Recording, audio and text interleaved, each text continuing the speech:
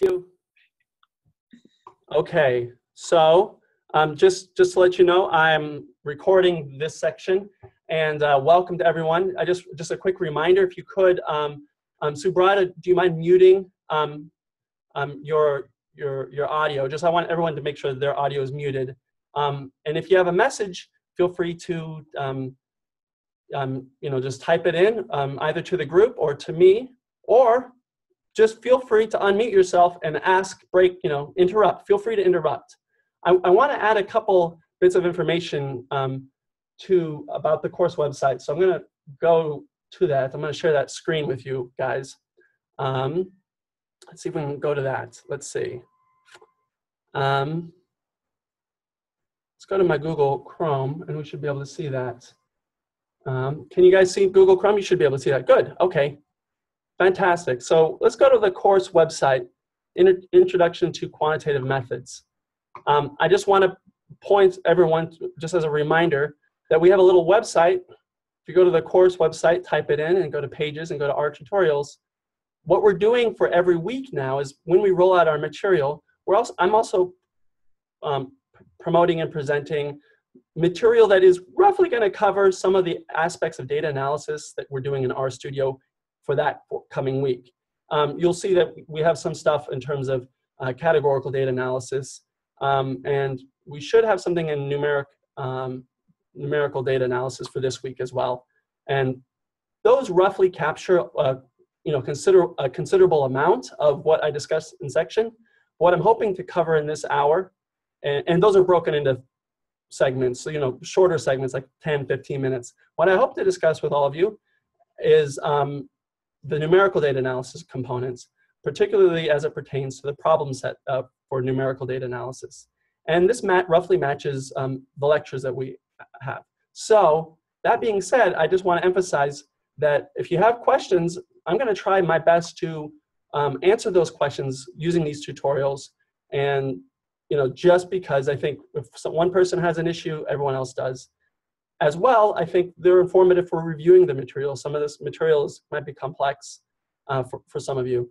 Um, I wanted to emphasize this as well, just, and finally, just to emphasize the fact that um, there, you know, we can talk about course content, but I also want to talk about, um, I'm not sure if I'm sharing this. Does everyone see, by the way, the course website? Do you see that?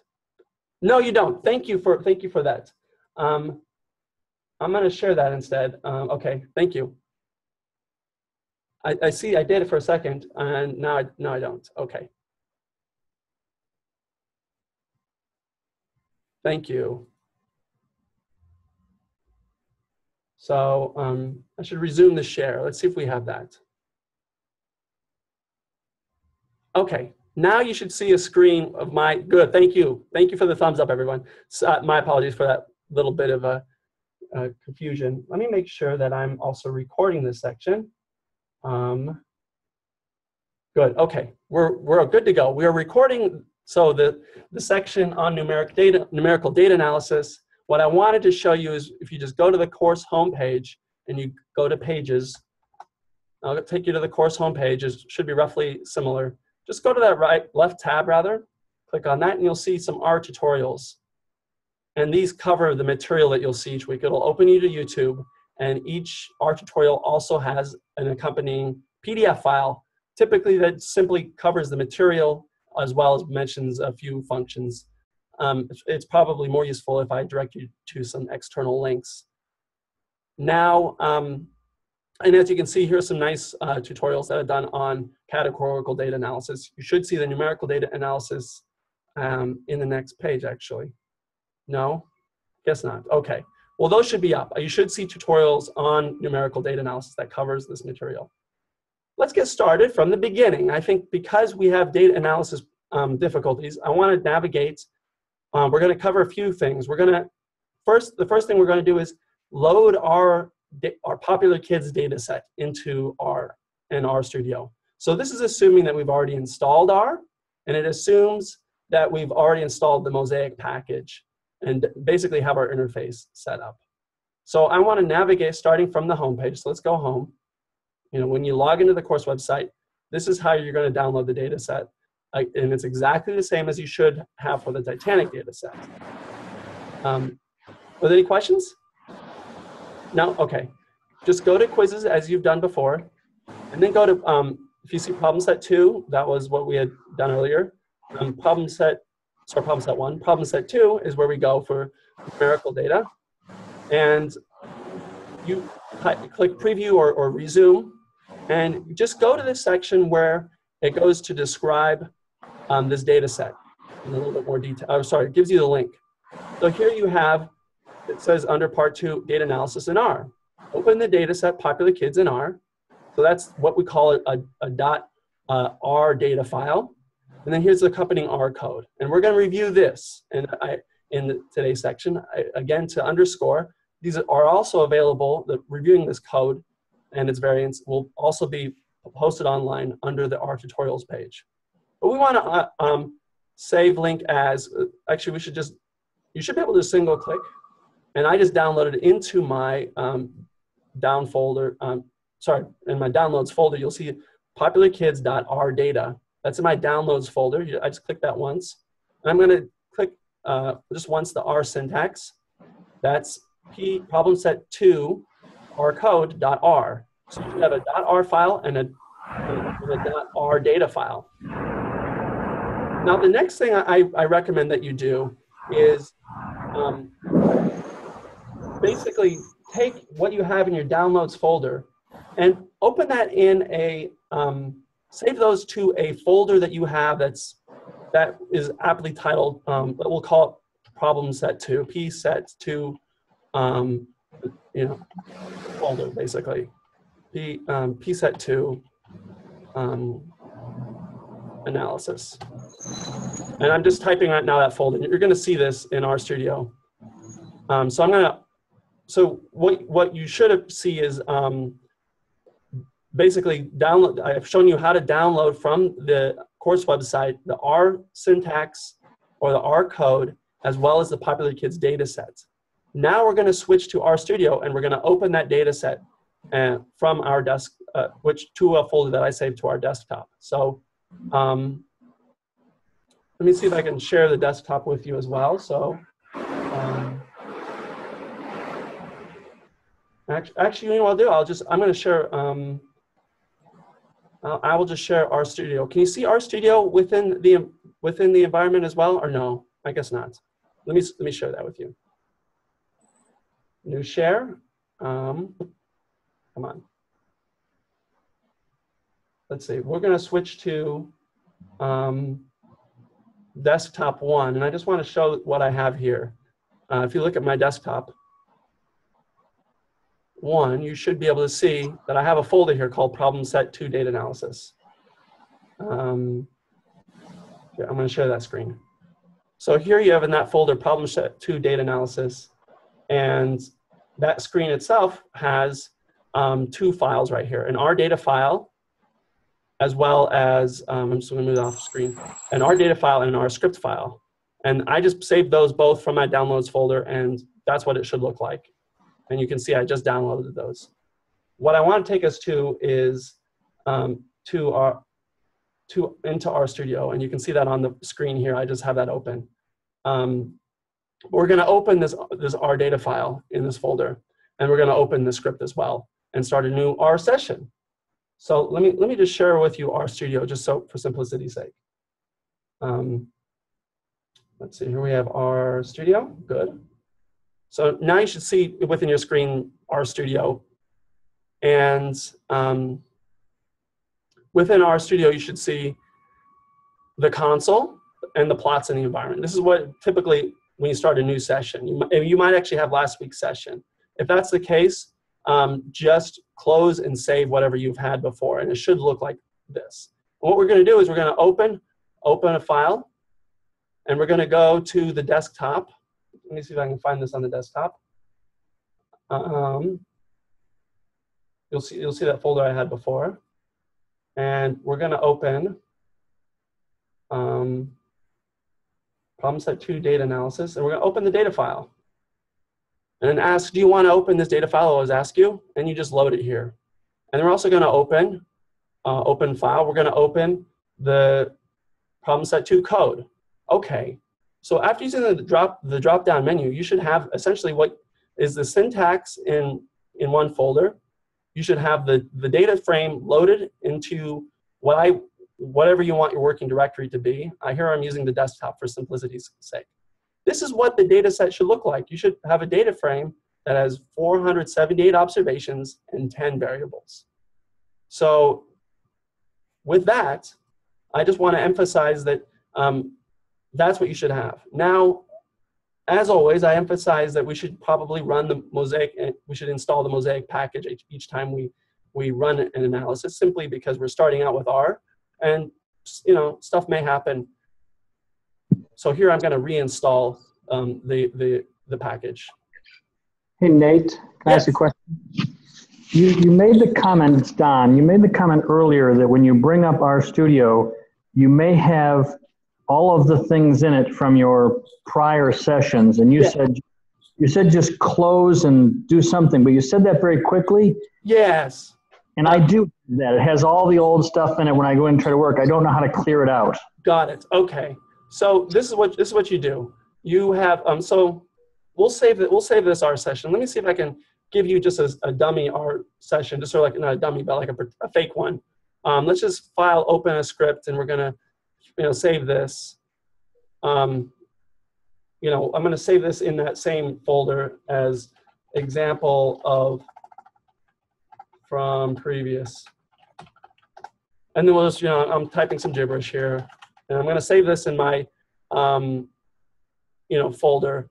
And then we're, we're just gonna close. And it's gonna ask me to save to this, uh, this workspace image. So here I'm gonna save.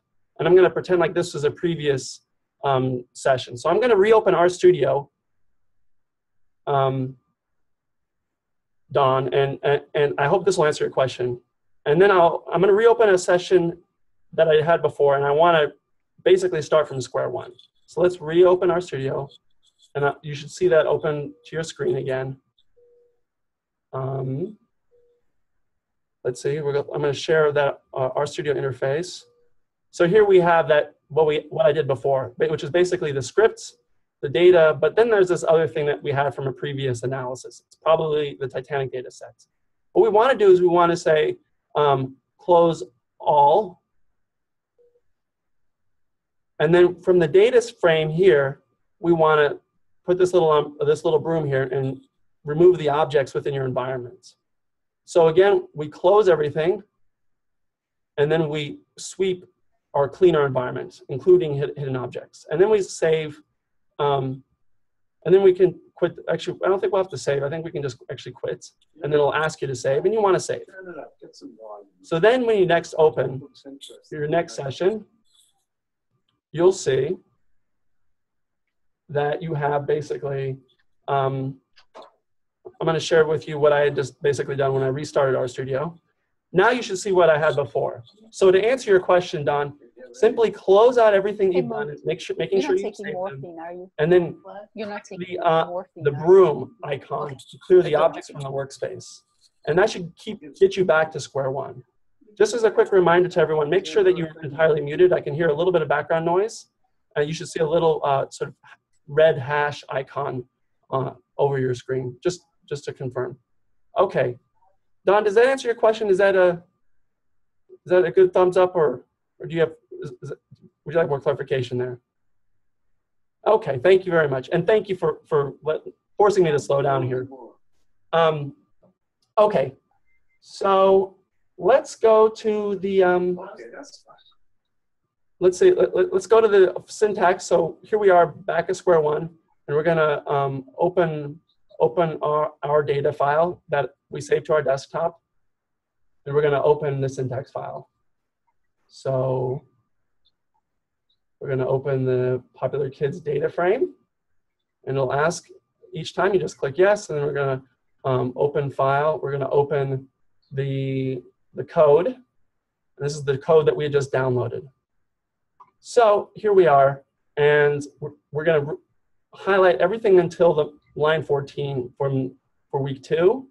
And the reason we want to do this is simply to confirm that our packages uh, have installed correctly. So let's run this and see what happens. Um, and you should be connected to the internet as usual. So you'll see this little icon here. Um, and then you see that it's installed successfully. Okay. And then if you want to dou double check to make sure that your package is, is installed, you can see from my user library, Mosaic is installed. But it's always useful just to type in Mosaic here, and you'll see that it looks like I have two versions of Mosaic actually installed. I'm not sure why that's the case. I'm going to get rid of one of those, and I'm going to reinstall. I actually don't know why that's the case. Um, I'm going to re I'm going to restart R another time. Okay. So you'll see, um, it's always important, I think, to make sure you're starting off on, you know, sort of on a clean uh, footing, so to speak. So here we see the data frame loaded up. Let's see if we can get the, those library, the library called in as well. Okay, so it looks like I, I have two mosaic labels here. I'm gonna just double click that third one just in case. I, you shouldn't run into any difficulty. Here I have some syntax to get to the working directory of your session. You can you know, use that or ignore it because what I've shown you is a way of uploading the, the, uh, the, the data file without having to use the script that I've included in, today, in this week's problem set. Um, I'm going to skip down and I'm going to take us to um, this first component. And this, this matches or mirrors the R tutorial, which is in three segments. First, we're going to expand on this idea of exploring your data frame or data set in terms of rows. Next, we're going to uh, review some of the, the quantitative uh, tabular uh, statistics for quantitative data analysis. Third, I'm going to show you a bit about the graphics, uh, uh, graphical functions using mo the Mosaic um, um, interface. So I want to emphasize here that we're using Mosaic mostly in, in this course. So you want to make sure that that is uh, loaded and in your you know working um, environment as a as a user installed package. So what we had reviewed before is we talked about these, these two functions here. We talked about this view function, which lets you view your data set in or data frame in terms of an, what would be considered an Excel sheet. And we talked about these, the utility of these fil this filter. We had also talked about this names function, which will simply um, print out for you within the console uh, the names of the variables in the data frame, which is quite useful. And we can talk more about that, but you know, the nice thing about R is that you can um, always play around with these things. But these are two functions we've explored before. I'm gonna expand on that by talking about, uh, you know, expanding on what I had said earlier, which is this idea of a head function and a tail function. And I think this is relevant because imagine quite often in data analysis, that you're asked to do some statistical consulting and you don't know necessarily all the attributes of a data frame, it's usually good to explore parts of it, especially if it's a very large data frame. It might be a little overwhelming or somewhat arbitrary to explore the data frame by looking at everything. So we're going to actually close off that window. And I just want to show again what we have here, which is to print within the R console the first few rows of the data frame as if you uploaded it. So the point here is, if you want to look at the head of the data frame, in other words, the first six rows, you can do that. And it does it by uh, variable name. And you can also look at the tail. And that's simply the tail function. So you can also type that in. So you just type head, and then you type in the name of the data set, popular kids, make sure that the, what you capitalize is capitalized, and you have that again. Now I'm going to clear the console, and you can do that um, here. And all this does is it sort of wipes the slate clean. I like to do that. It's like uh, it doesn't affect your analysis at all. In fact, if you look at your history, it already sh shows what I've done so far. All, all clearing your console does is it sort of, it's like an Etch-a-Sketch, if you know what, remember that toy. It's like shaking your screen just to clear the slate. I, I like to do, that, to do that every once in a while, simply to um, show in, to show you what what to work with. Because I think the next function is a little more complex, but it gives you this idea, uh, which is a neat concept behind um, R. And the reason we promote R in this course is that R is, a, is an object-oriented environment. In other words, you'd help, you define objects. You define what you want to play with in your little sandbox, in your global environment. That's what we call, I like to think of this as my little sandbox because here we have a data set, but we're going to do something with the sample function. The sample function will take your data set and then randomly sample that a subset of that. And here we're going to set that size to 10 rows. In other words, if you just highlight this syntax on line 74 and you run this, you're going to define a new object, a popular kids data frame that is a random subsample of 10 rows. And it can be any 10 rows. And in fact, if I repeated this session, it might be a different set of rows because I'm randomly uh, examining a subset. So if you look at my tutorial that, I, that I'm going, going to post, you'll see a different subset of 10 rows. Now this is useful because sometimes the ordering of rows in your data frame matter. In other words, when someone created a data frame, perhaps there was a reason someone created the data frame in that particular order. And it's sometimes informative to look at just a random subsample. So I'm gonna um, run that syntax and you'll see that I just created a new object here. And that's a new data frame. Now we can view that new um, data frame, popular kids 10, and, you, and you'll see there are 10 observations of 11 variables. Well, that's interesting. Let's, let's use our view function on that, on that data frame. If you see in the, in the syntax provided for the, the problem set, you can look, just simply look at the head. But I just want to repeat the view function and show that we can do this for the smaller data frame too. And we can also do the names function. And that's relevant because you'll see we have an, an additional variable. So let's do the names function. Names, popular, uh, kids 10. RStudio is quite helpful. It's kind of like Python in that way. It'll help auto-complete some of this. Oh, look at this. We have our, our original variables, but we have an 11th one called original ID. In other words, what, what the, the, the sampling function did for us is it gave us that subsample, but it also gave us some number that indexes our original row of the data set. Because in our new data set, we have, um, well, you'll see these numbers here, but actually it's only 1 through 10. So if we manipulate or alter this data frame whatsoever, we'll still keep this little variable here if we want to merge or melt this data set after manipulating it. It's, in other words, this, this last variable, the reason we have another variable when we use the sample function and define a new data frame is that we're creating a new variable that tells us which row we originally used. Now, I want to emphasize this idea of an object-oriented environment. The reason this is an object-oriented environment is because here we have multiple data sets, actually, multiple objects.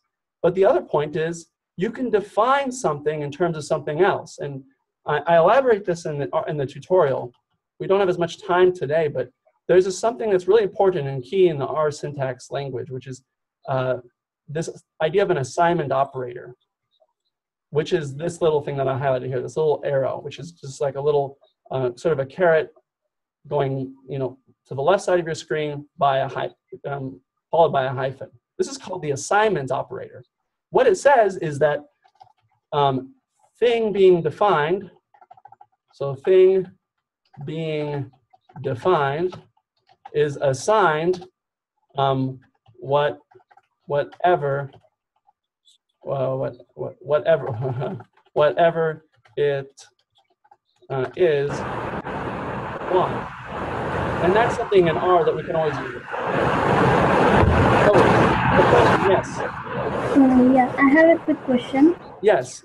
I see that uh, Popular Kids 10 has been created from a random sample of popular kids. Yes. But how come it has 11 categorical variables whereas popular kids has 10 categorical variables? Yes. So this is what I was trying to explain earlier. I will use the view function of the, of the original data frame. Um, so we'll look at the original popular kids. What I wanted to show to you is, is this. Actually, you know what? This is an easier way. I'll clear the screen, and I want to show this to you. Could you um, provide your name? I'm sorry if I mispronounce it. Sanumala? Uh, this is Shruti. Oh, sorry. Oh, Shruti. Sorry about that. Um, thank you, Shruti. So we'll use the names function for our original data set. And then we'll do, oh, sorry, my bad. what I want, long story short, is that is that Popular Kids 10 has 11 variables because it, we include an additional variable that gives us the row identifier number. It gives us the number of the row from the original data set. So it tells us from what row did you sample the original, uh, this Popular Kids 10. So, and you can get this from the names function if you want to briefly compare um, data frames. So here are the names of the original, of the original sample. You have age, et cetera, et cetera, all the way through money. And then Popular Kids 10 have, um, you're going to see one additional variable name. This one right here, Okay. right? So here you have the same variable names in the same order in the subsample. But in addition, you see that an ID number that when you look at this, look, let's look at this last row. Here you see money, looks, sports grades. Look at the subsample, exactly the same, except that you have the original ID, which is simply the row from which you grab that identifier, or that, sorry, the row from which you grab that, um, that, that student's information. So, um, and we can look at that uh, in a classic example, right? So let's look at row 210 in our original data frame. We'll just scroll all the way down. Here we have row 210, I'm sorry, 2, 216, my bad. If you look at the first row of our subsample, it's 216. Here we have 216, there's 11-year-old girl with grade level five from a uh, Ridge school, that's the name, I suppose, in, in a rural location. Um, she specified her goal was grades, and then she ranked each of her these attributes. We'll, we'll see that that corresponds to this girl right here, Yeah. Ridge rural grades, and that's all that we did here. Any other questions about the sampling function? I think that's an important idea. I have one more question. Yes, Ruthie. Uh, so it is selecting the uh, 10 because we are creating a new data set with 10 samples so it is selecting 10 samples randomly how does it select, select those 10 samples is it using sampling algorithm internally I, I think, uh, yes, what it does is it actually uh, randomly subsets a selection of rows. And if you want to know more about that, you can always do the help function, which I'll talk, ab- I'm going to have a tutorial, actually, I'm working on that today, is, is a help function to actually get help about some of these questions. But to learn more about the sampling function, you can always type in question mark sample, and that will give you the, um, that, that'll give you, oh, that's actually, that's a little bit different, but um, we'll do help sample here. Um, you'll get several options, but actually we want the Okay. mosaic package. Um, here you have, essentially, um, I wouldn't get, I, I would say there's many sub-arguments here. What I want to emphasize actually is that, to answer your questions, Ruthie, is that you can get help on, on get more information, but the intuition is simply that you're just randomly sampling this. You're using a random number generator to say, okay, here I'm going to randomly pick 10 observations. And So- the thing I want to emphasize here is that you were able to define this as a new data set within R. And that's, that new, that's a new data set to explore. And the reason it's relevant is that sometimes you want to get a snapshot that is entirely random as opposed to simply the first few or the last few rows. And I'll, let's look at that tail, for example. I'm going to take you back to the big data set, and we're going to look at the tail function um, because I think it's important to, to emphasize or underscore the utility of a random subset. Look at these last six observations of the full data set. So here we're looking at all 478 kids uh, in the sample of those 10 variables. Well, it doesn't look very random, does it? Because these last six rows are all 11 year old boys. So sometimes it's useful just to get that random sample and to look at that. And what, what I want to emphasize and move toward um, is that simply, I think the idea, and again, a lot of these concepts I, I review in the, in the tutorial I'm going to post online, but this intuition here is that, um, first of all, we can look at rows of, an, of a data set to explore it further, in addition to viewing it as an Excel file. Second, we're getting to uh, begin, we're going to begin our thinking about of data in terms of objects, things that we define as something else. So here we have a subsample defined as something else.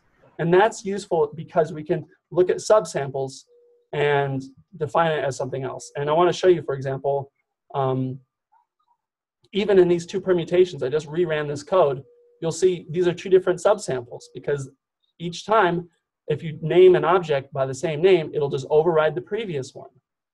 But the point, I, I don't want to get too much into that, but you'll notice this, this little thing here, this thing called the assignment operator quite often.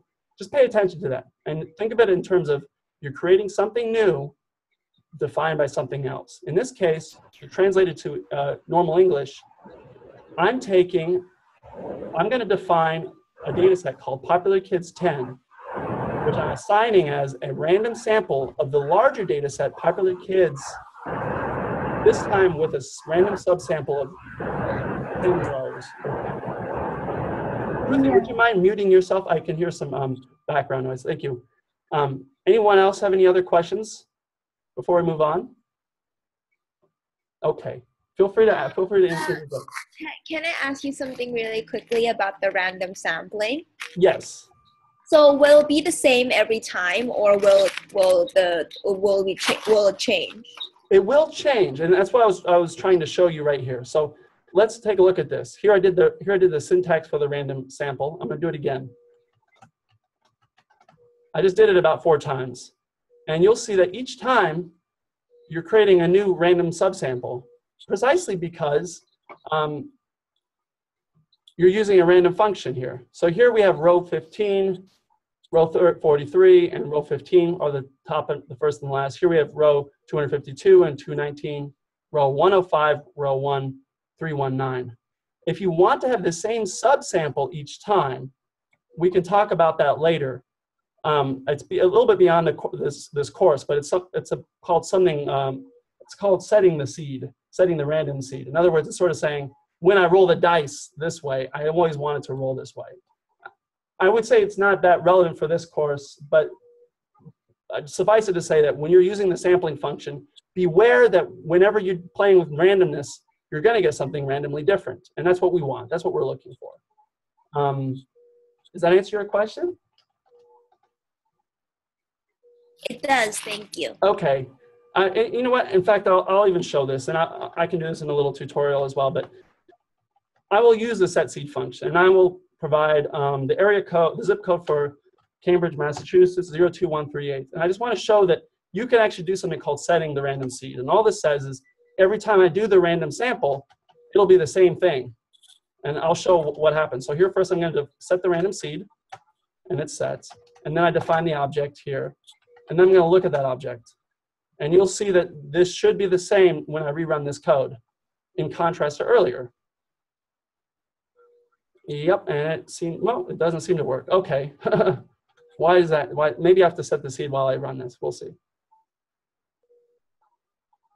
Well, I'm not sure. I'm not exactly sure why. See, this is one of the, the, the idiosyncrasies of the Mosaic package, which is that it's it's sort of a standalone suite of packages. So the sampling function that, that they use might actually specify the random seed apart from the analysis. Um, suffice it to say, typically when you run a random, anything that's random and you want it to replicate or, or repeat itself, you should do what is called setting a random seed, which simply says, I want my randomness to be, uh, be random the first time, and then every time thereafter to, uh, to stay the same.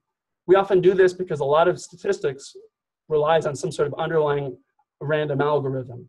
Nevertheless, um, the point in- for, for us right now is simply we actually like this randomness because we get to explore different random you know, draws of the sample. Think of it as like you have 52 cards in a deck and you're going to just randomly take 10 cards each time. You're going to take a random 10 draw of that each time. You can do that again with a, a larger data set. So we're almost halfway through the section, and I want us to get to the actual, I think, topical analysis this week, but I still think it's important that we focus on these things. So any questions about data exploration? Because I still think it's crucial that we understand what data, how to explore the data and how to get an intuitive sense of, it before we do to the, get to the analysis. Is it, um, Nate, is it simple to comment on how it's different if the data is not in an R format? So I was playing yesterday and I, I saved some data from an Excel spreadsheet into a CSV file and then was trying to get it into a data frame so I could work with it. Yes. So, uh, Don, that's a great question. And it's something that is beyond the scope of this course. We can, I'm happy to talk with you one-on-one about this, or perhaps even uh, get a little tutorial about this. We have made sure, so to answer your question is, yes, we can upload many different kinds of data files. So uh, to answer your question in, in particular, Don, you're talking about what is called a read.csv function. Um, and usually you would want to do, um, you know, here's the file name. And then you want header to be true if you're, if, because your first uh, row will be, um, uh, the first row of your Excel sheet will be the, the, the variable names. And then you want, whether this is a comma or, or tab delimited file, you specify that within your quotation marks. And then um, that, I think that's all you really need to actually create the data frame. Um, and then so you you should just do that basically. Um, if it's just spaces, then you should do that. If it's tab delimited, um, well, I'm not exactly sure, but you you should it should be some variant of that. Um, just make sure that you specify that the header is true because typically the data frame will, will include that. Um, get it in though.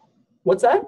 Once I get it in using this read CSV file, it's not yet assigned to anything for me to work on. Yes. So when you do that, you have to, this goes back to defining it as a data frame as an object. So typically, if you use, if you deal with anything other than an R data file, so if you're dealing with anything that has like a .dat, .csv, or .dta, or dot, uh, um, this, you know, I don't know, I think that's, a, that's an SPSS file or an Excel file. Any other kind of data frame or that is not an R data file will require you to specify it typically as an object. Um, and that's simply because of, I guess, I'm, I'm not 100% sure why. It's, it's simply the way that R interprets um, other forms of data. Now, what we did for this course is we made things quite simple for you guys, which is that almost everything is a dot is an R data frame, which means that it'll load up in your global environment labeled as data. What Don, what you'll do if, if you or anyone else who's interested in, in loading other kinds of data, typically it'll say it'll label this under a different heading here as a as an R as sorry as a data frame rather than data itself.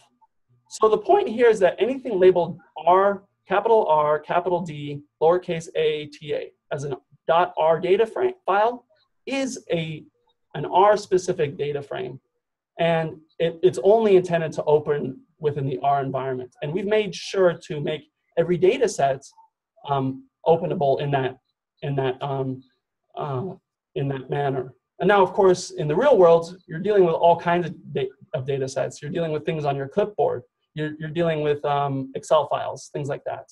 Um, so that this is a little bit beyond the scope of the class, but Don, I would I, I would try this out, defining it as an object, and then you should see it named here as an object, similar to in the in the same way that we created a subsample of kids as a random draw and defined that as an object. You should be able to see that. So, does that answer your question? I hope. Yeah, good. Thank you. Um, that being said, we need not worry about these things. I'm going to comment this out, and that the hashtag or pound sign is, is how we comment things out. It should be green. Um, yeah, typically in this class, we're trying to you know make focus on the concepts because there's a lot of material here. And if we go to this data set, I'm going to remove an object. And we had talked about this briefly, I think. Um, we sometimes want to remove our objects. We can do this or um, in, in the syntax line, and we're going to remove popular kids 10 and we're going to copy and paste this and remove our popular kids 25 data frame.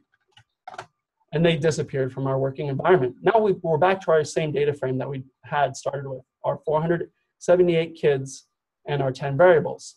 Now, when reading the, um, the description and going through the lecture this week, you would know that this is a we're putting on the hat of a psychometrician. We're, we're now psychologists. Now, there's kind of a joke here, which is that all data are historical in the sense that these kids were probably sampled in some time in the past. Nevertheless, they were used to evaluate um, what is pop, you know, what does it take to be popular uh, in school. And in the our tutorial, I emphasized when when exploring rows that if you don't know much about a data set, these can look like categorical variables, but they actually aren't. We know this from the course lecture, but also if you looked at the data, if you looked at some of these rows, you would see that kids are assigned only one value to each of these four attributes. Um, if we go back to the, the, the data set, well, let's, view this. We'll do the head of this. Um, just, just to give you a quick rundown on the data, kids are asked about uh, what's important to them, but then asked whether grades are important for being popular, sports, being good looking, or money. And most importantly, they're asked to rank these. And you can tell, get an intuitive sense that they're asked to rank what is important to being for being popular because they only have one of each value, each kid. So this gives us an, an intuitive sense that, well, look, boy 11, boy, sorry, boy with um, in row one at age 11 in an elementary school has a goal of, of thinks sports is important. But when asked to be popular, he thinks grades are most important, followed by sports, followed by money, and least important to him is good looks. And we notice that, say, for this girl, um, she, when she's asked what is important, she ranks looks as most important for being popular, then sports, then money, and then finally grades to her or least important for being popular. And she has she defines that as a goal. Now, of course, this is material covered elsewhere. I just wanted to emphasize that when looking at these rows, we get some information that we might not otherwise get if we didn't have any additional information other than the data set. Because we can see, oh, look, these, these are not categorical data. These are not independent um, variables. They're actually, the students are forced to rank these. So it's a numerical, these are numerical data. These are ranks in the same way that you could rank um, gold medalists, or sorry, medalists in a race. You know, you have a, gold, a silver, and a bronze. Well, that's what kids are actually ranking here. They're given four features of, of what it means to be a kid and four attributes and asked to rank what they believe is most important for being popular. So we're going to look at, I think, what is the most important one, and this is aptly titled fav stats, the fav stats function, which is are the main numerical summary statistics that we want to deal with when, we look at these data. And again, this is like a lot of other syntax. This is, if you look at my tutorial on arguments and functions, this is it. This is this is where we can think about this function favorite statistics or fav stats as an expression, which is we want to know those favorite statistics for the variable grades, comma, using the data popular kids. And then we end that expression, that function, with a closed parenthesis.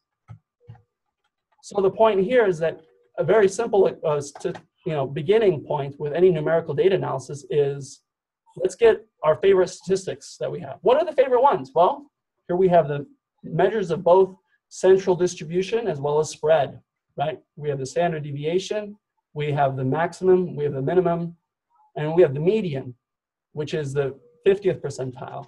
Then we have, and we have the quartile one and quartile three. And we can get each of these uh, values separately for this variable as well. I'm going to go through that quickly because I think it's pretty intuitive. But the main point is if you want those statistics all in one, you know, one area, use that favorite fav stats function. Otherwise, if you want to do that, then there's the mean function and the median function. So we can get the median function. What does this mean? How to interpret this? Well, the mean is lower than the median. So this means that on average, the ranking that children gave to grades uh, as, as something important to being popular is not that high, in fact. And the, fact, the 50th percentile is ranked around three. In other words, the most, you know, about half of the kids, if you want to split the sample into one half and the other half based on its spread, the median is three. And this is an example of two different measures of central centrality. Now you can also use these same mean and median functions with uh, using the with command or the with function. All this does is this adds to the mean function. Uh, specifies the data set beforehand. Using so, so it's another way to really look at the mean. And this is you can think of this as a, as a sentence. With the data set popular kids, I want to know the mean. So all we're doing is the mean function, and we don't specify the data set because we already did that when we said with popular kids. We're going to get the same output as we did it as we did with this. It's just another way to express um, the same function or the same syntax. And there's the median. So here we have two measures of centrality that we had from our favorite statistics. Here we have the variance and the square and the standard deviation. Now in lecture, I think Ethan did a very good job of explaining what's the difference between variance and, and standard deviation and, and why, why is it that we have to square these distances. We won't go into that now, except just to say the VAR function gives us variance, and the standard deviation is expressed as the SD function. And we know this that the variance is a square root of standard deviation because we can actually test this using our syntax. Um, sorry about that, I added something here.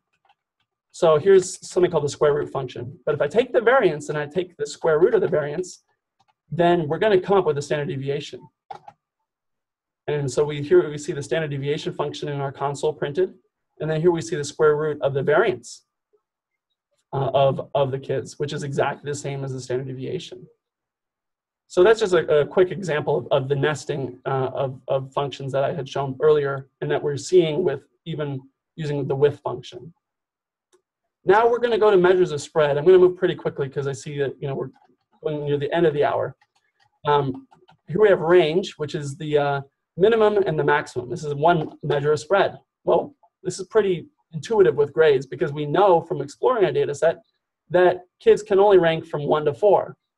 And with th these many um, participants, they actually encompass the full range. You have some kids reporting grades as most important for being popular, some kids reporting it as least important.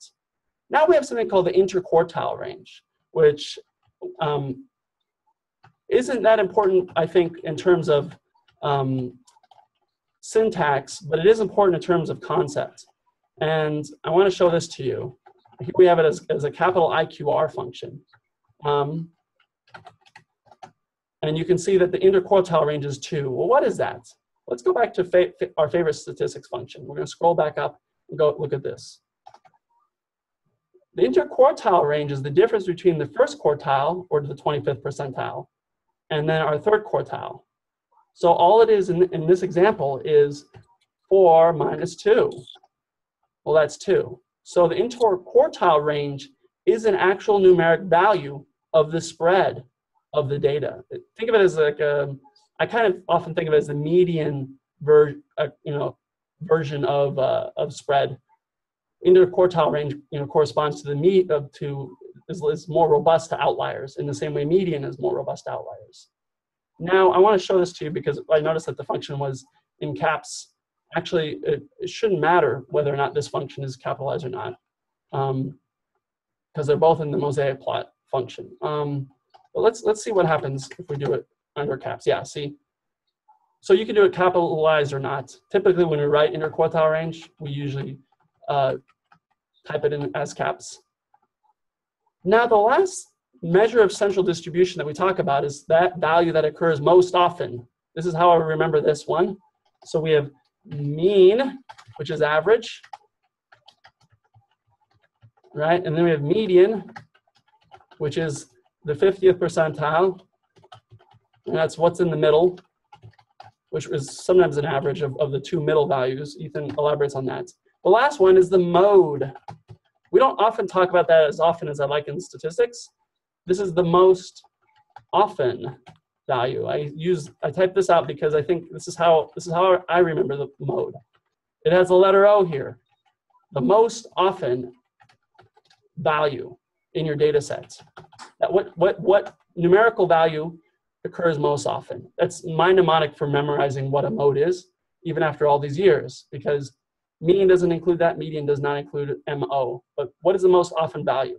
Well, in this case, you actually have to nest your tally function as we did before. We're going to just count it up, count up our values of kids in each of the categories, you could say, of, the, of each numerical value.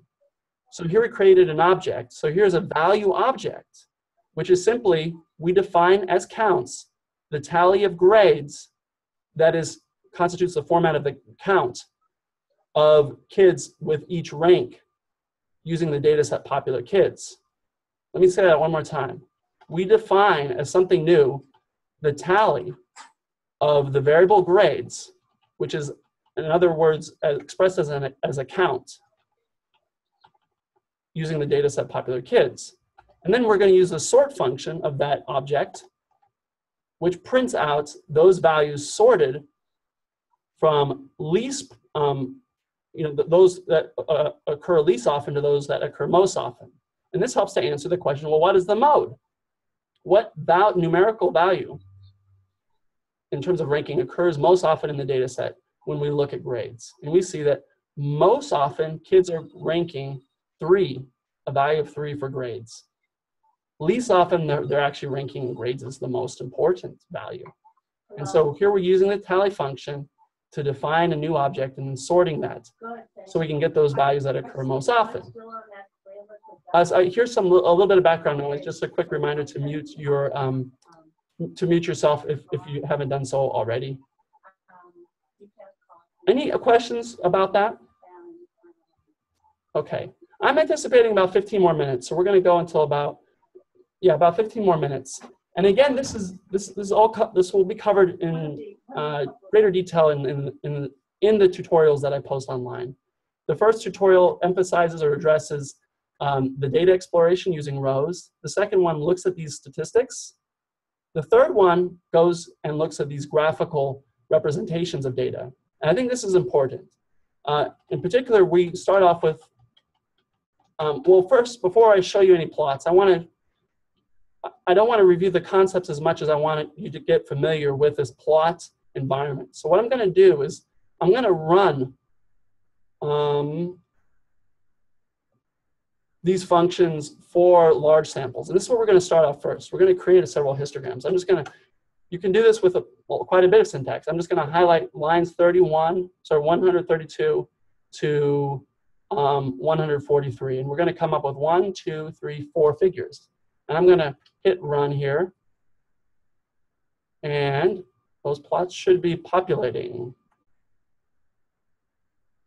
Um, my computer may be thinking. Let's see. Yeah, okay. So you'll see that there's this little bit of a space here. Okay, good. Now, I ran three, I cre actually created three plots at the same time. You can't really see that, but I want to emphasize that here we have the plot window here. I've emphasized this before, but I'm going to reiterate this.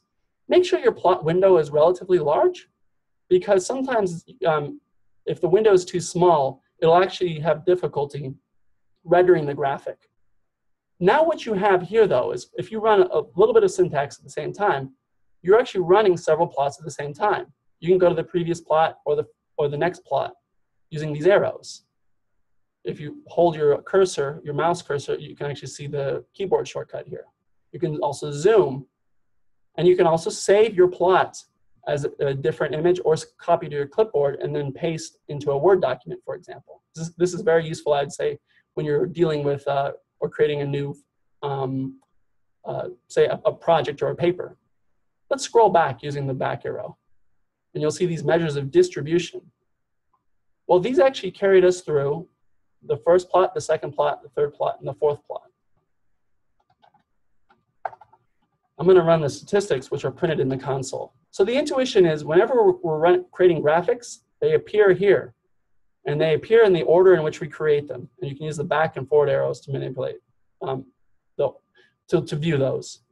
And that the, the size of your window pane here for the plot function is important.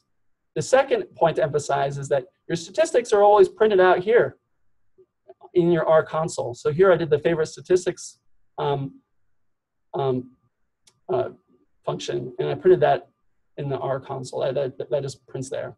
But let's click back our arrows and go to the first measure of um, distribution. Here we're looking at the variable age. So we're not, no longer looking at grades within the data set. We're looking at this variable age, which is um, a numerical variable. Let's see if we can get oh, there it is. There's the age. So I ran the statistics here just so we can, we can get an intuitive idea. On average, kids are about 10 and a half years old in this sample. They range from a minimum of seven to a maximum of 13. The median value is 11, which is slightly larger than the average. And the interquartile range as a measure of spread is 10 to 11, which suggests that, um, which is, you know, suggests a little bit of a difference from uh, if you compare the standard deviation and the mean. In fact, and oh, actually, before we go there, I just want to emphasize that, you know, once we get a handle on, on the statistics, it's always useful to visualize what we're looking at. You want to see the data. And when we visualize numerical data, this is important. This is a key uh, idea in numerical data analysis. When we look at um, representations using the histogram function or looking at histograms or density plots or what we, what we call box and whiskers plots. That's the BW plot function. All of them are used to assess the overall distribution. They give you the bird's eye view of the data. And that's really important because you can have really precise numbers, but you might not get a good idea of what the data look like. And what the data look like also depend on decisions that you make. First, in our first function, we use the data set to define as a histogram um, a, a distribution a distribution graph or a histogram of age defining a splitting age into three bins. I emphasize this point because we don't get much information if we split our age into three bins. But let's look at this next function that I ran. And we're going to look at that looking using the right arrow. If we define it with uh, age using five bins, which makes sense because you know that roughly approximates to as many categories as, as we'd expect in the data, we see something much more valuable. We see the actual distribution, which corresponds with our numbers, right? We see that the median is 11. Most of these kids are around 10 or 11. Very, very few are 7, and very, very few are 13. These are the outliers. So what the relevant point here is that um, the number of bins that you use to, define um, your distribution in a histogram is relevant. And you can do that using the n ints equals argument. And that's just the second um, argument you have in the histogram function. And sometimes that requires looking at the data and playing around and exploring the data. Um, now, here you have something that is a density plot, which is a, assumes a continuous underlying distribution.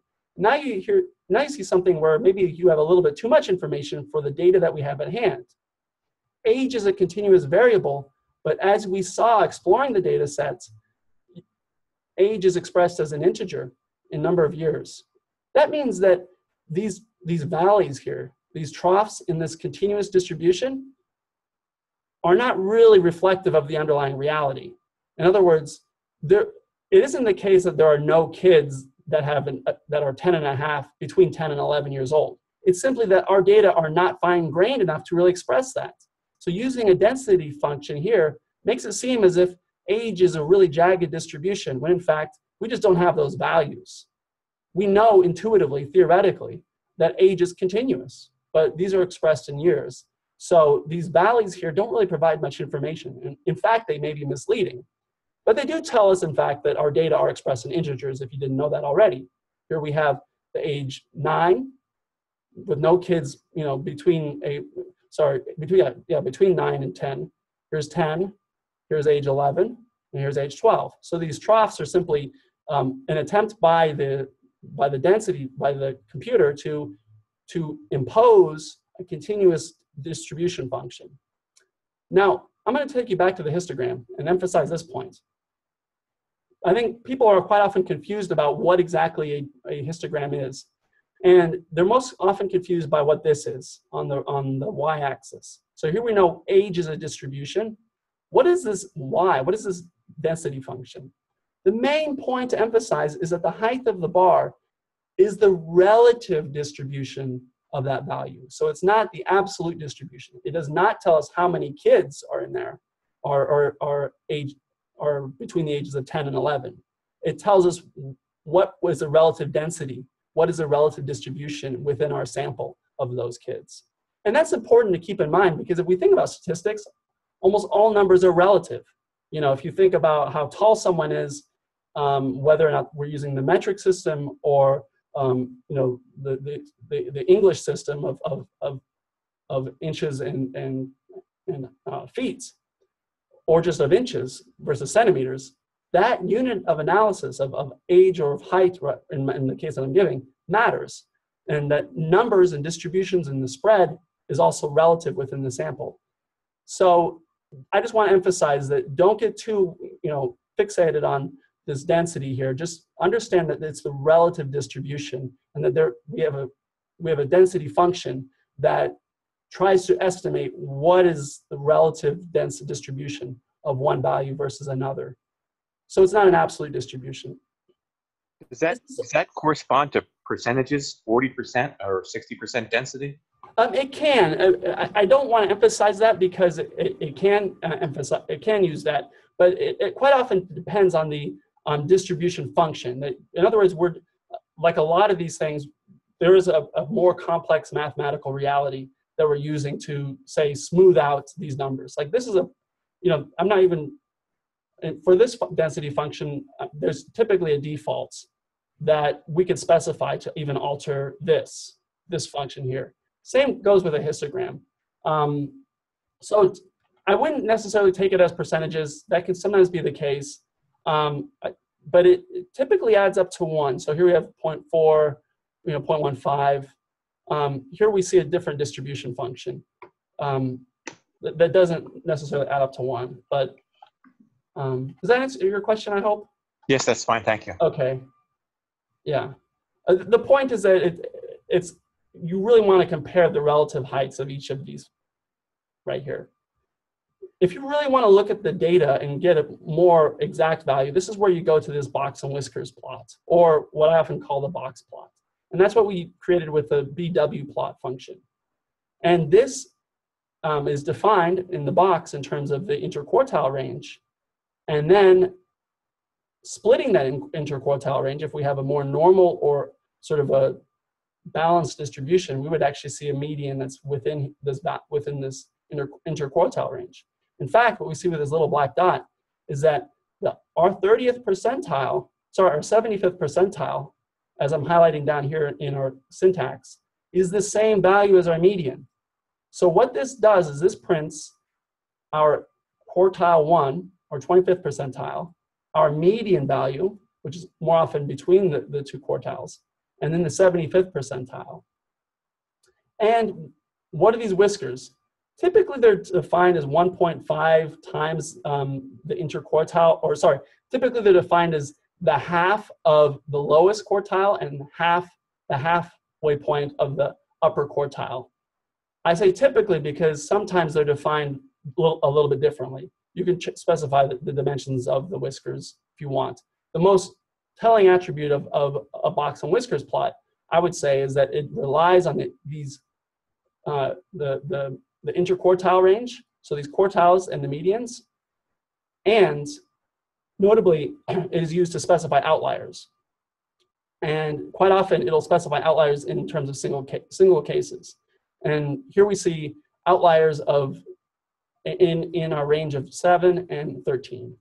And if you look at the data set itself, you'll actually see that this explains why in our histogram, we actually see one value here and one value here, and why you see so very few values at 7 and 14 in our histogram.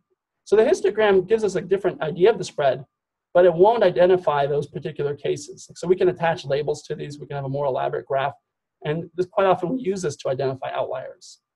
Um, so, and here we have an, another thing. Oh yeah, I, I, I want to emphasize this in the last 10 minutes or so.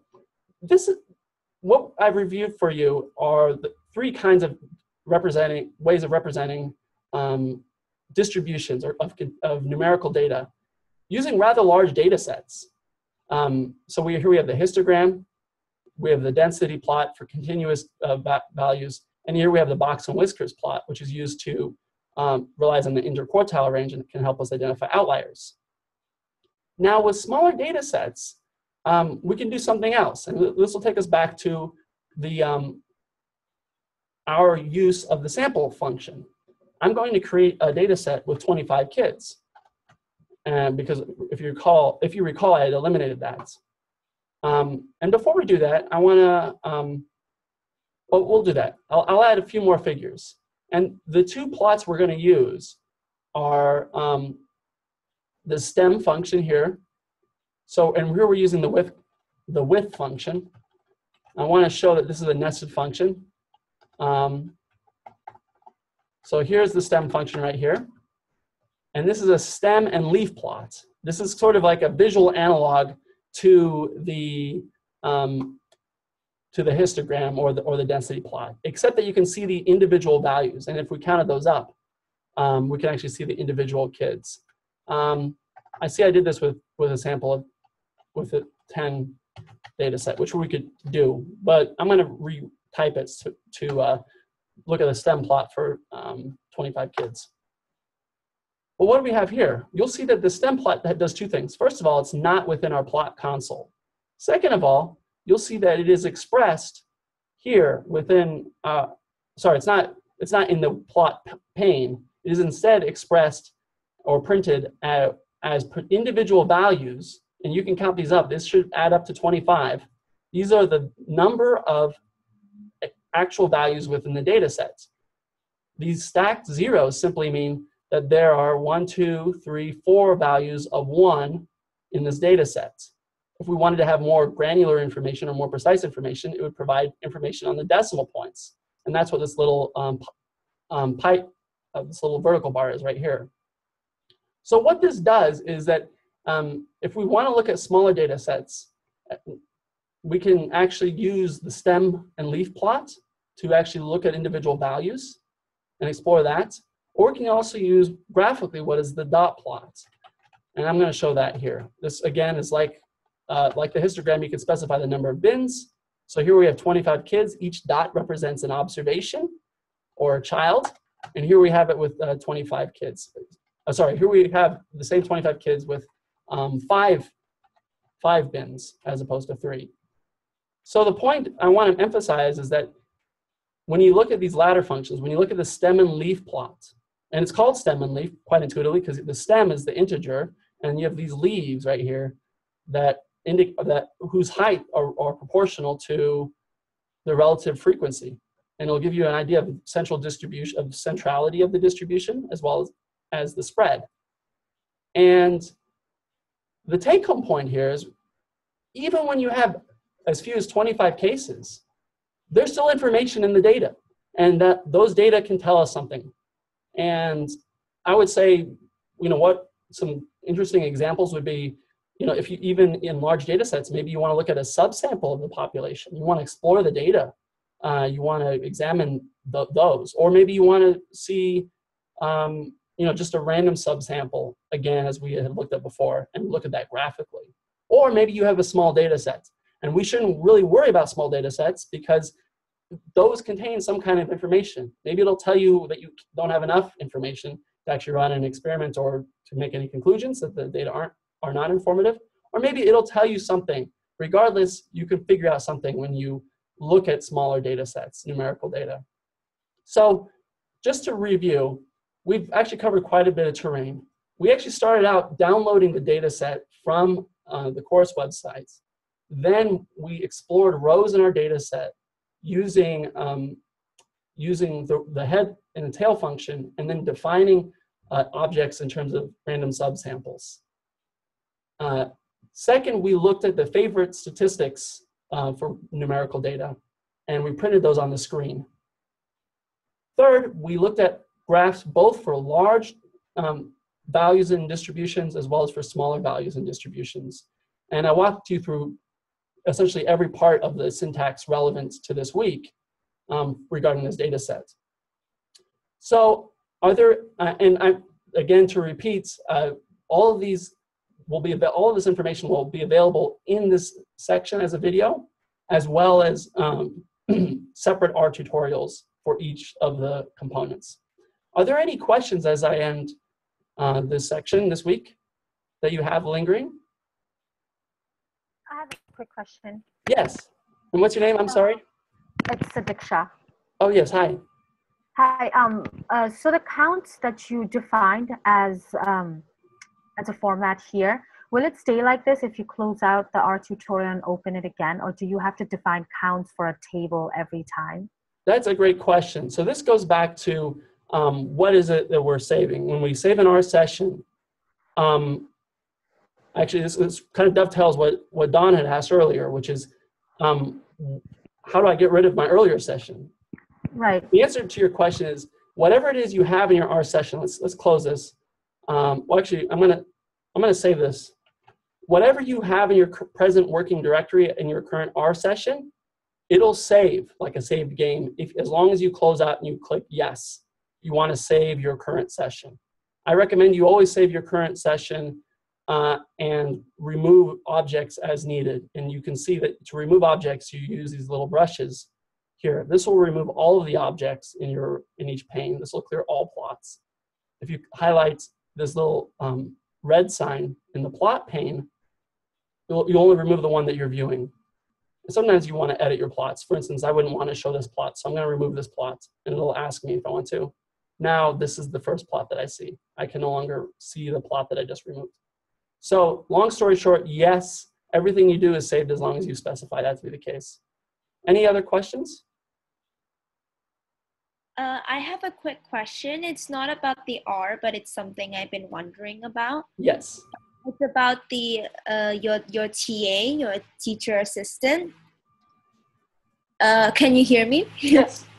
Oh, okay. So is I think you're my TA, but I'm not. I'm not sure. So I wanted to check with you. Yeah. Okay. So you want it's about confirmation of who is uh, who is your TA.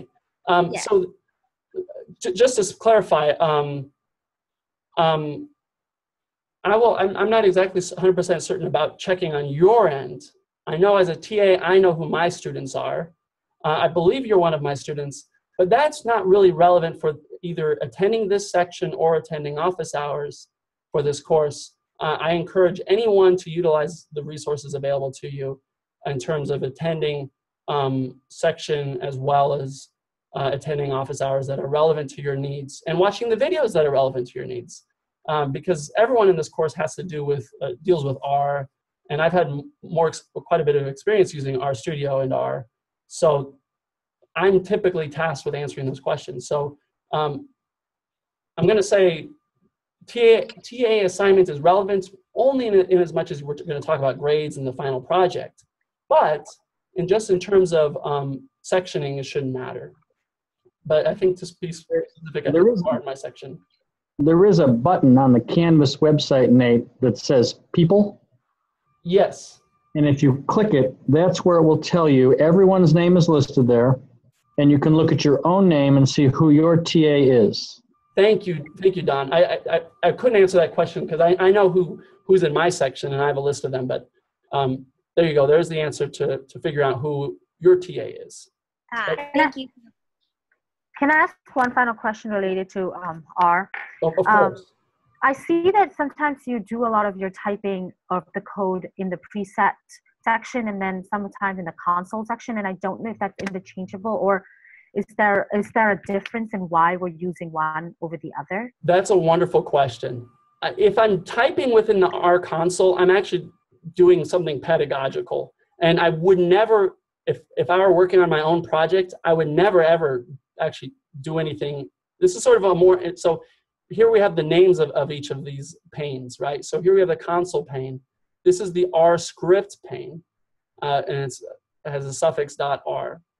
Okay. So you're asking, why is it sometimes I highlight this and I would run this, say, for instance, as opposed to typing out the command sort command sort counts, Right, right. right? So this, well, misspelled. So here's a classic example. Why wouldn't I type it out? Well, because you're going to be error prone. Um, the advantage of typing within the console is that it, is interactive. The disadvantage is that it does not save what it is that you do. And I actually, when I when I type code myself, I want you to, I would encourage you to use the R script as much as possible because it documents what you've typed out. Um, Okay, and then just use it to run it on the console and see what the results are. Exactly. And All right. Normally, I wouldn't do this except maybe I'm doing something where I don't really want to emphasize something in the script because, um, you know, here I added a little bit of commentary in the script that is not available to you. But typically, I would really encourage you just to get used to just typing whatever it is that you want, um, you know, and then running it within this, uh, you know, highlighting and then clicking the run uh, tab or arrow rather, or control enter as a keyboard shortcut. Okay, that makes sense. I Thank- always encourage that because then you just you save what you save up what you do. Um, that's a great question. Any other questions about R and you know getting with you know downloading the data, working with R? Any any complaints? Any issues that you have about R? Um, hi, can I make you a question? Yes. Sorry, I don't know if this is a topic that we cover in the future, but uh, I noticed so far the the data we are obtaining is coming these files that uh, um, the extension is R data. Right. So if we are in the future trying to work with real data, I don't know, we are downloading in a CC, CSV file or SQL, uh, how we manage to use this data in R. Right. So uh, that's a great question. The reason. Uh, so Don had asked this earlier in the section. uh, Matthias, right? Yes. Uh, did, did you, were you able to, to be here for at the earlier part of the section? No, sorry, I just no, joined this. no worries. So I actually answered that question earlier, and it's a relevant one. Um, Oh, sorry. it, it underscores the, the need to actually perhaps even do a tutorial on just showing how to upload different kinds of data. To, to, Okay. to repeat the, the question here, I'm going to highlight this little line 82 that I typed when I was answering this. There are many different data files, a .dat file, .csv, Instadata, which is a kind of statistical software package, you use a .dta. You, typically, we often have Excel files. The point is you want to define as a new object that CSV file. And you're going to use read.csv. Another function to look at is read.table. Um, but the relevant point here is because we covering, we're covering a lot of material for a lot of different students with many different backgrounds, we're actually saving everything as an R data file and providing that for you. I acknowledge, of course, we acknowledge that there are many different data files that you're going to upload, but we, we really want to get you moving toward uh, you know, data analysis rather than getting stuck, which is hap- which happens all the time. I have to say in R, you know, it, it, it takes a while to get used to uploading the data in R. Uh, long story short, yes, you can upload different kinds, but we're for this course we only ask that you upload or know have knowledge of R data files for the purposes of the problem sets, precisely because there's a, finite amount of time, and we found this to be most useful for students. But Matthias, I'm happy to answer your question in particular for your project, if you have a particular file to open, um, feel free to, to address that. But, Okay. but check out the read table function and the read.csv function, read.table. Any other questions? All right. Well, thank you very much, everyone. Check out, so I'm going to save this and we'll upload this to the course website. So feel free to review this section as well. Uh, as a reminder, we also have um, the R tutorials that we're uploading, which uh, are, are, I think, if are, are a little bit more compact, and you can actually play them back on YouTube, which which might be easier for you as well. So thank you very much. If you have any other questions, visit me during office hours. Um, my office hours are 1 to 3 p.m. Eastern Standard Time. Or feel free to email me or use a bulletin board or ask one of the other TAs. All right? Okay. Thanks a lot, everyone. Thanks a lot for um, attending uh, section this week and um, looking forward to uh, hearing it from you um, in the future. Thanks a lot. And feel free to keep the questions coming. Bye-bye. Bye-bye. Thanks a lot. Hey, Nate, Yeah. you said you could keep the questions coming. So I was playing with last night, trying to um, read in some data that I assembled. Yeah. And one of the variables is a time duration in minutes and seconds. Can R deal with uh, a, variable that contains a series of time durations, or will I have to convert them somehow? Yes. So um, here's time is uh, is one of those vexing things, Don, in terms of in terms of reading these data in. It, I, the short answer is it sort of depends on the structure of the variables themselves. Um, quite often, it's difficult to standardize time, and and it's difficult for the computer to know whether or not you're specifying the month, the day, or the year, or whether the year's in two two integers, uh, like 16, 17, as opposed to 2016, 2017. But you're saying if I think what, what would be best actually, Don, could you give me a snapshot of the um, the tail or the head of the data, or have you had difficulty loading it first? Well, I can get it into R, it seems. Okay. I'll tell you what I'm doing. I was looking at, um, I, I injured my leg earlier in the year, and I was trying to look at um, my running times. I have a running log that keeps all my times. And so I loaded it all in, and I was going to try to see if I could tell um, one, where the injury occurred, and two, whether there's been any progress made over time. And so I have a data set that includes the, the first column is the date, the second column is simply an integer representing the number of miles, and then the third column is the average pace, minutes, colon, seconds. Okay.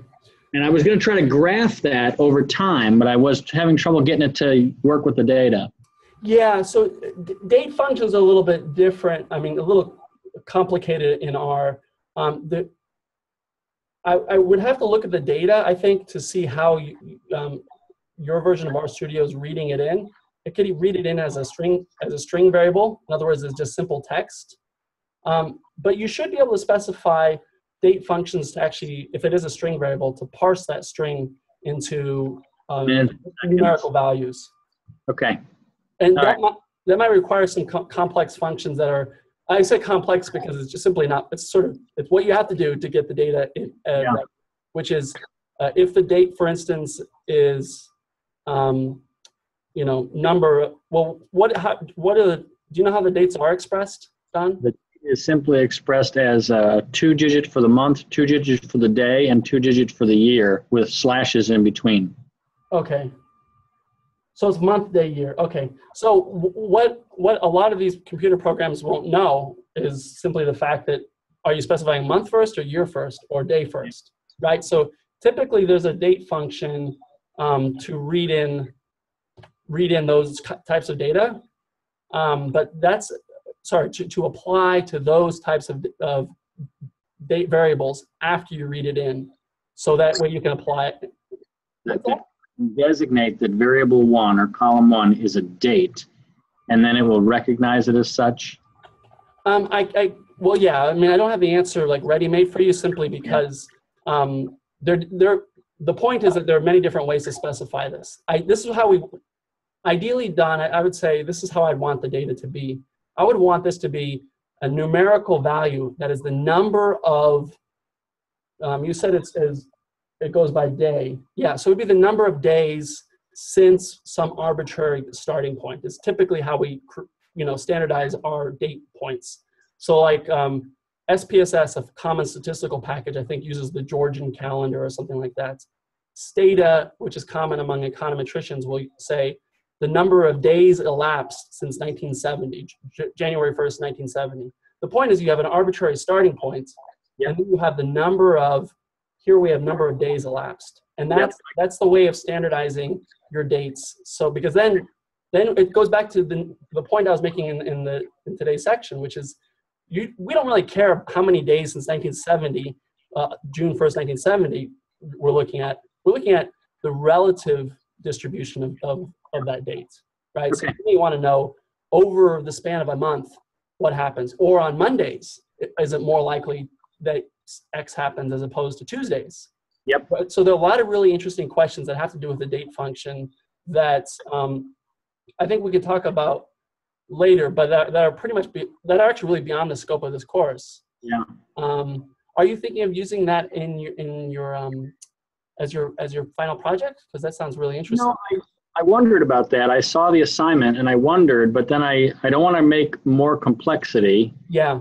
but I am interested in looking at things like, um, you know, how does the, the, the performance change when it's the fourth consecutive day of running or Yes. the third consecutive day, or with one day off, or two days off.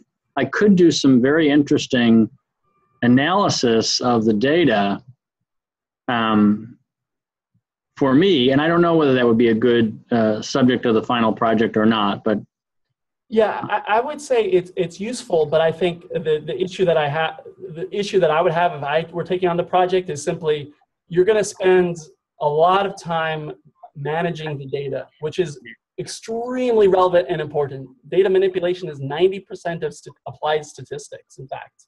We're taking you through, you through the math and the concepts, and then leaving out the, the 90% of data management, data manipulation. So you'll have kind of an uphill battle, pun intended, actually, running wise. yeah, On, on the other hand, I actually think that's extremely useful. So if you really are interested in, you know, doing more data analysis and data management, um, I would encourage you to to to go down that path. I would just say, um, I personally, you know, when I'm when I've had to deal with date functions in the past, I've never really enjoyed it until I had the data at hand cleaned. Right? I like the cleaned data myself. Getting there is, is a little more difficult. Um, but but I'm happy to help you. And I was actually just as we're talking, Don, I was googling some, you know, what other people do in terms of um, data functions. There's a great book called um, Data Manipulation Using R, I believe is what it's called, um, and that will, yeah, with R, data manipulation with R, um, by a guy named Phil Spector, not not the uh, producer. Um, Yeah. I'm, gonna, I'm gonna text that to you. Actually, I'll text that to the class. This is a good book that I use uh, personally in terms of data manipulation, and it'll address any questions that you have regarding. Um, that's a that's a good suggestion you have. I think if I add a column and I simply take the first measurement as day one or day zero, and then I just sequentially number each one in terms of number of days from day zero, it will allow me to not lose the sense of being able to look at winter, summer, you know, seasons. Um, but I can I can look at it over time that way a lot easier. Absolutely. Um, I, I- do think there, uh, there are built-in functions in R that I haven't used recently that might that might ex, that might make this a little bit easier for you. Uh, in terms of your data set, how large, how many rows do you have it in, in your data set? Uh, it, it's only about 150 rows. Okay, you're good. Good. That's good to good. That's good to know. Um, so this is something where you could actually probably edit within using the view function or just within Excel before you Yeah. import the data. Um, Yeah. Able, just uh, out of uh, uh, out of curiosity, were you able to import the data using the read.csv function I, I gave, or have you tried that? I I imported it using I think it was the load function, Okay, and um, actually I may have used the drop downs, good. and then I was trying to assign it to a data frame so that I could uh, manipulate it and graph it, and that's where I got into struggles is trying to graph it over time. And I think it comes back to this: it's not recognizing the variables for what they are. Okay, okay. Well, that- seems like a, like a project-specific question. I'm happy to talk about that. I'm just in as I try to get more um, familiar with R. Oh, absolutely. And I think you're doing the best approach for that. Um, the other thing, of course, is to use the built-in data sets. Um, Yeah. You know, that data manipulation with R book is very useful that I provided because that includes code as well as um, it relies on some of these data sets. I would be entirely shocked if it doesn't include um, anything having to do with dates. Um, yeah, of course it has dates. Um, Yeah. Because that's just what it's one of the it's like the bugbear for data management is is how to specify the date because more often than not, imagine like you're in a fortunate position because you know what the data say. Imagine we have two integers, two integers, and two integers, and I don't know which is the month and which is the day, or Yeah. whether it's the, those are even accurately reported. Um, so one way to look at uh, your data frame, Don, actually, well, this goes beyond the class, but I think rel- it's relevant to um, as long as you can get your data frame in as the object as I defined it, then you can actually look at, I'll I'll share my, uh, I'm gonna share my screen again and I'll show you within RStudio. Um, let's see if I can import a data frame here. Um, you, yeah, you, you see my screen. So let's see if I can define, first of all, as an object, one of these popular kids data sets. Um, I will avoid the bad habit of typing within the console. And I'll define as data frame popular kids, um, kids 25. And let's see if that comes in. Okay.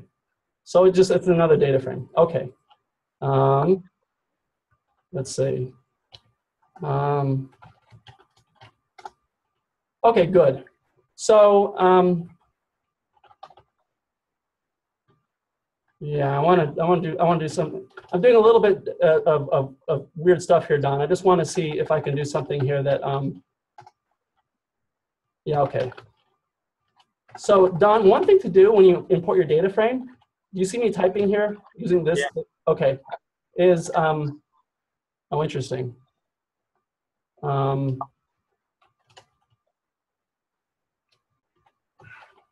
you should be able to use a class function for your values within your data frame. What I'm not seeing here is, um,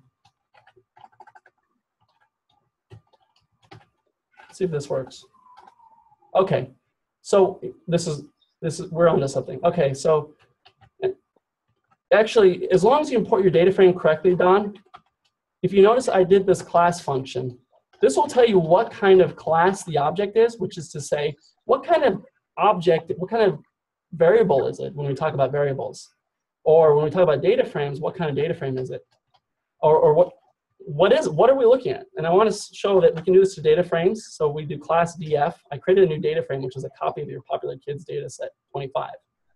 Then I did something else, which is I said, what is the class of the variable age within the data frame DF? So this, this dollar bill sign is quite common, which is to say, within that data set titled DF, what is that class? And what I invite you to do is when you look at the date um, variable, Don, I would check out that class to see what kind of object it is. If it's a numeric, and that will help you determine whether or not um, whether or not it's it, your data are being read in as as numeric variables or as string variables. Is that Yeah. am I being clear there a little bit? I am. I'm, I'll have to figure out then whether I can reassign it or whether I have to break it apart. But I understand what you're talking about. It'll tell me what it thinks that data element is. Exactly. We want to know, um, you know, what you're when you're reading in the data. The first thing to figure out for you is um, what's the what, what category is it reading it in in that variable since you're already able to to deal with it. Um, Yep. And to, to contrast, we see that um, reading in the data frame for the popular kids data set, we can see that age is numeric, which is, is important, but school is a factor variable, and otherwise known as a string variable. A factor variable, if you recall, is a just like a categorical uh, variable. Yep. Yep. So, um, yeah, that, that's relevant to, to look at. Let's, let me see if there's anything else. Yeah. Okay. I, yeah. So we can talk more, Don, but I'm, I encourage you to look at that and, and figure that out. I think there's some Okay. other questions, but Gives me something to play with. exactly. Good. Onward and upward. All right. All right. Thank you. Thank you. Sorry, can I add, add something to this? Yes. Uh, so this uh, class variable, the, the, the type of variable you have in each uh, column, is this coming automatically? Can you force like a column to be a day? Can you force it to be a string? Yes, yes, yes, yes, yes. So, um, so you would do this uh, like quite often. I think you would most want to apply this, Matthias, when you're reading in a data frame. I would Yeah. assume that you typically type in. Um, let's see if I can type in. I'll define as a new variable. Um, We lost your screen, Nate. oh, Yeah. you, don't, you don't see my you don't see my uh, screen. No, it, it, it lost it just a minute ago. There it is. Okay, thank you guys. Yes. Thank you, thank you. Okay, so um, so you should do the as. So we should do like data frame. Um, oh, so here we'll do this. We'll do school num, I guess, and we'll see if this is uh, as numeric. Yeah. Okay. So I guess it will take my school variable within this data frame, right? So here I define the data frame which is the name of the data frame here. followed by the pound sign, which is the name of the variable. And of course, we know that the class of the school variable is a factor variable, right? And then we're going to define, we're going to read in uh, as our values, and this will be in the lower right-hand corner. Um, we should see a new vector or sort of a, a, a, a row of items as a numeric variable. I'm not sure what that really means in terms of logic, but you can see that you have re, re, um, redefined that, that, new that new variable. Um, and you can see, or that new object rather. So you can see that that new object is now, should be as a factor or sort of numeric. So in some cases, you're misapplying it. Um, now you probably want to keep it within the data frame. So let's redefine this. I think you can do this. Um, and then we should do um, view, view df, and then we should have see that variable school num in there. Whoops. Let's see if we see that thing there. Yep, okay. So what I've done is I've added as a column within the data sets, this one here, a variable that is now, that used to be string, but is now the numeric version. Um, I'm not sure what that would mean except, um, wait, wait, sorry, that's a popular kids data frame. Um, yeah, that's a school number. So um, there you go. So you can look at like as numeric as factor. Quite often you're, you know, re, you can read in something as a factor. So within this data frame, um, you say school, let's say we'll, we'll, we'll recreate age as a factor, as well, age factor. Then this will be as factor. And it'll typically give you help here. And then data frame school, and then um, and then we'll we probably shouldn't see it here. No, it, okay, it adds it automatically. I actually didn't know this. So this is kind of neat. So that here we have age as a factor. It doesn't look like it when we view it, but we should actually I verify this when we do the class function. Class, actually we do class here. And it's identified as a factor. So Matthias, does that answer your question? I hope. Yes, perfectly. Okay. Thank now, you. I want to point out one little thing, guys, which is that, or guys and girls, gals rather, which is that when we're moving away from the R data, R data frame interface and we're dealing with these other kinds of data frames as objects, you'll see almost ubiquitously the data frame defined with the pound sign. It's usually data, data frame, pound sign, column, column identifier. You mean a dollar sign? Yeah, that's the dollar sign that, that, that specifies um, what column of the data frame we're specifying. So here I'm defining as a new column in the data frame, a numeric, the numeric values, uh, the, sorry, the, the numeric version of the school variable. And it just adds that in addition as the final column within that data frame. But you'll just see in most syntax in day-to-day -day operations, you'll probably see this pound sign here. Um, and that's just important to just to note that the interface might look a little bit different. But um, that that I think if you look interact with the class object, Don that'll help you, and Matthias, that I think that, that hopefully answers your question. And then you see as, as I work through this, I'll define more objects. I already created this little object I probably want to move, but any other questions? No, it's good. Okay, yeah. thank you, Matthias. That's a really good question. I have to say, I have to emphasize this is more than what's in the course, but you know, there's always more R to learn than what we can provide in the course. There's can't do everything. Okay. Yeah. And not everyone can learn everything, I have to say. Okay.